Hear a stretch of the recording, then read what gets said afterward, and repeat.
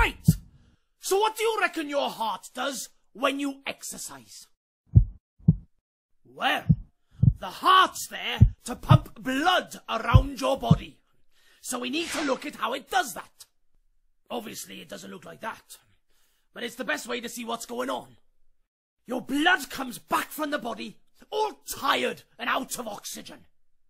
The first bit of the heart it goes into is called the right atrium. This is a weak little sac that just needs to collect the blood and move it on to the next bit of the heart. And that's the right ventricle, which has the job of sending the blood up to the lungs to pick up oxygen. This bit's called the pulmonary circulation. Pulmonary is just a fancy word for something to do with the lungs. Now the blood comes back to the heart, all perky and full of oxygen, into the left atrium, this side. That's right, the same as if you're looking down at your own heart. The left atrium pumps it into the left ventricle. And that's the strongest part of the heart. That's got to pump all that oxygen-rich blood around your whole body. Now, let's see what the heart actually looks like.